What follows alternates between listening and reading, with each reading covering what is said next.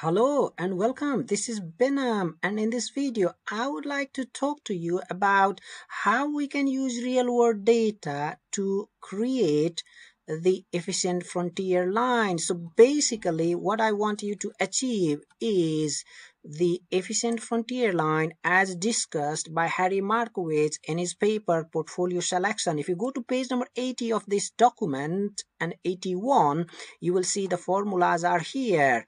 But then the simplified version of the formula for your easy learning is what I will be using in order to construct the efficient frontier line.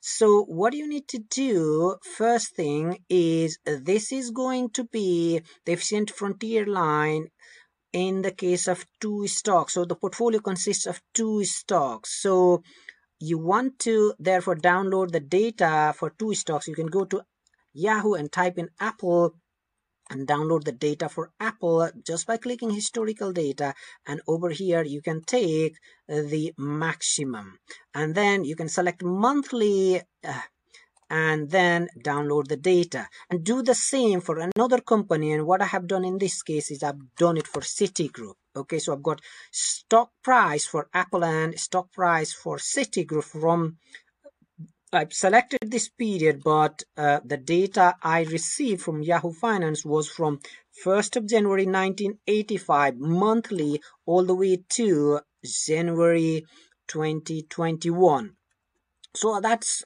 that's good uh, good length of data for me to for me to compute. So what i therefore need to do first thing is to compute the return. So new share price divided by old share price take away one gives me the return. That's what i have done for both my stocks. I've double clicked it and in case of return i'm interested in geometric return. So i click equal product and then 1 plus all these return and I can see there are 432 so power 1 over 432 months I have take away 1 and that gives me the returns monthly for Apple and just copy and paste I get the returns for Citigroup as well. Now for standard deviation, I just type in stdv.s open bracket. I take the standard deviation of my monthly return for Apple and I just copy and paste it here. I get that for Citigroup as well. Next this is what I need because as I said to you here now I'm going to use the formula and in order to compute the variance given by sigma square p variance of the portfolio I need weight standard deviation and also the correlation which is given by rho 1 2 here this bit. So here therefore i will be finding correlation. Correlation in diagonal is 1 and here equal correl is the function i can apply. And therefore i will choose uh, select this array and the other array which will be for Citigroup hit close bracket hit enter. Because that correlation matrix are symmetrical I can take this here so my correlation matrix is also done. Now this is my weight of investment in apple. So weight of investment in apple. So i'm saying no investment here i'm saying 10% so here if i'm not investing it should be equal to 100% so 1 minus this is what i can do and therefore here i need 90% so that's what i'm getting. So bring it down so that at the end i've got 0% for Citigroup. Here I need weight 1 square, sigma 1 square, exactly like the formula here. So therefore I will need to square this times square the standard deviation. And also remember I need to lock this so that I get I can drag it down. So that turned out to be 0 and now weight 2 square and uh, I need to do square times this sigma 2 square which is here. Again I need to lock this so it is going to be locked simply by pressing uh, F4 or function and F4 depends on the keyboard.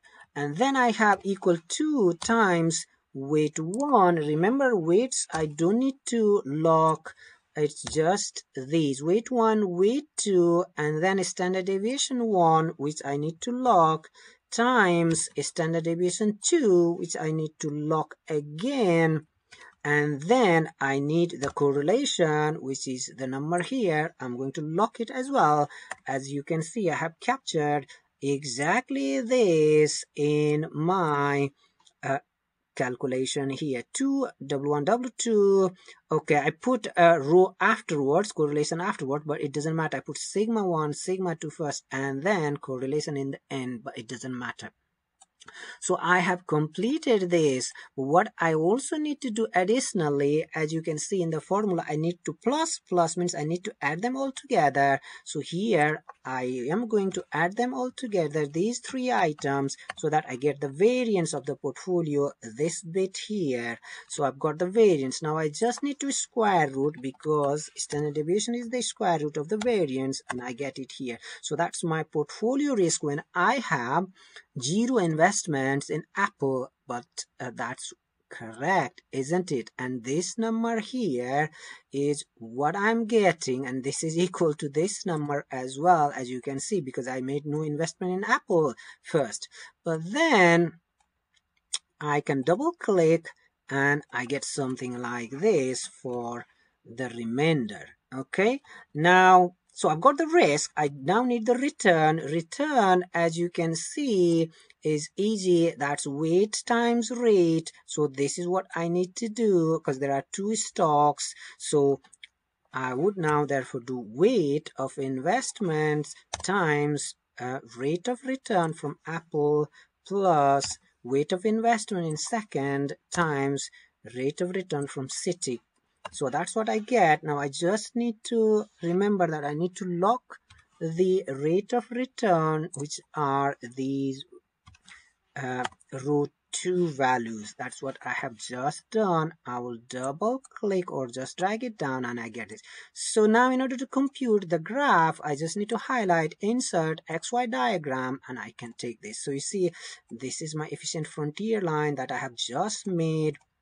I can change it to the name efficient portfolio frontier or efficient frontier line. And this side here uh, is my risk and here uh, on the vertical is my return. Now next thing that I want to talk about quickly is where is my minimum variance point?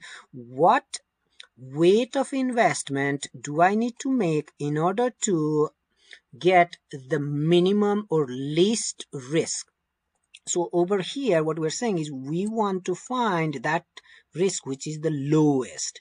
Okay so you can see here and make some guess. Maybe 924 here is the lowest. And this is telling you 40% investment in apple 60% in in a Citigroup. But if you want to find out the exact re exact ratio of investment then in excel what you can do is you can apply the solver function inside uh, data. So if you have solver here what you can do is first copy this all paste it down and then once you have pasted it what you can do is ask the computer to make it a minimum by changing your weight here. So go to data click solver click here and tell the computer this should be your risk lowest which is this point and then you want to minimize that's fine and over here the point that you want to change is this one. So once you have done this now simply going to click solve and that way you will get the new weights here which is what you need to invest in Apple and, and in Citigroup that will give you the lowest variance okay? So let's see. So you say okay so you see this was this has now changed to 43 and 56 percent. So if we were just to guess we would have received 40 and 60 but to be 100 percent precise it is telling you 43.41 percent in apple and 56 points uh, 6 56.6 56.59 in Citigroup. So if you want to have that incorporated here, that's something you can do. But by guess, you can think that the minimum variance should be here.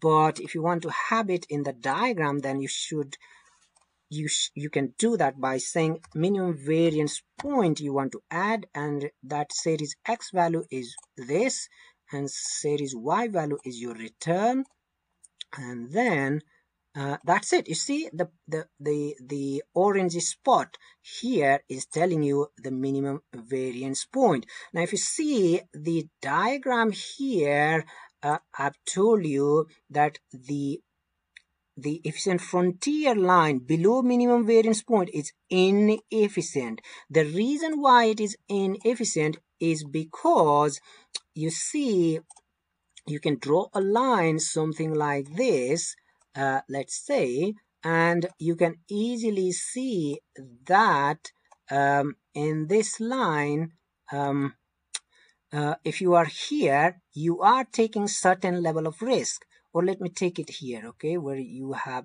let's say exactly um, um, 10% risk. So you have this 10% risk here and the return here is uh, 0.4 uh, not not not 4 okay or not 0.4 percent but but at the same 10% risk you can see you can go all the way here which can give you um, a very high return um, so these points below the minimum variance are therefore on the line are inefficient. Okay, but uh, um, if we're talking about the points in the line, these are going to be more efficient because for the same level of risk, they give you a higher rate of return. Of course, um, everything inside this line, which you also call the envelope line, are feasible set, but compared to any point inside this line, the point on the line itself are superior, are much preferable. Okay, so this is what I wanted to achieve in terms of efficient frontier line. Of course, you can talk more and you may like to see my other videos in relation to uh, aspects such as capital market line which is a line that is going to be tangent on the efficient frontier something like this. But that will be an agenda in the next video. But thank you very much for your time and thank you very much for listening me. And i end my discussion here. Thank you